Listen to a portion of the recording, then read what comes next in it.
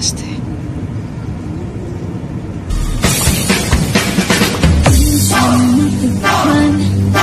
Ang init ng iyong halik Akala ko narating ka. Ang uyak sinabi Sa aking